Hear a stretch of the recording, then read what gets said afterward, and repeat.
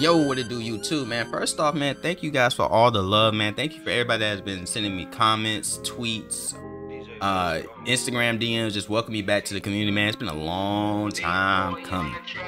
But first thing I just want to say is I appreciate you guys for just welcoming me back. That welcoming me back. Goddamn tongue twister. Um, cause you know I know it's been a minute. It's been a minute, but let's go ahead and get into the video, man, and talk about uh, my badges, how I got them so quick, and the jump shot that I'm using. So I'm only on like what day two of just playing this game, and I already have all of my badges. I haven't done no glitches. Obviously, if I was doing glitches, I would have a whole lot more of my badges, but I, I'm just earning my badges straight up. And this year is tough. I'm not gonna lie. This year's shooting is tough. It's one of those years where you're gonna, you know, if you don't know your shot, and what I mean by knowing your shot, I mean you can't look at your wrist, you can't look at your your elbow of your jump shot, you can't look at your feet and know without a bar when to release your shot about 100% of the time, you're a 50-50 shooter.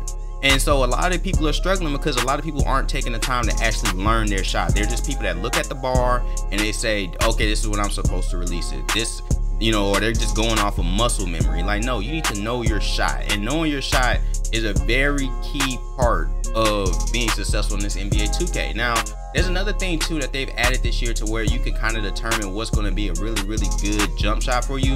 And personally, I don't think that you should look at this as like the holy grail because I've tried different shots and I've looked at different things and honestly even though my jump shot is not considered a really great jump shot across the board when I mean like release height defensive immunity release speed it is a really really good jump shot because I'm able to time it no matter what situation I am in and I think that is what's going to separate the good shooters from the bad shooters or, or people who are just chasing meta jump shots. The best jump shot in the game, according to 2K Labs, you can use it if you want to, is Kevin Durant, Kevin Martin, Kevin Martin. But if you look at it, it is not a very good shot to you know use visual cues for. It's just not. It just doesn't look that good. You know when 2K Labs do these videos, they're using modded controllers and and using all these analytics, but I don't think a lot of times that kind of stuff is practical. I'm giving you a practical jump shot. You guys are seeing it on your screen that this jump shot is butter, that this jump shot is clean.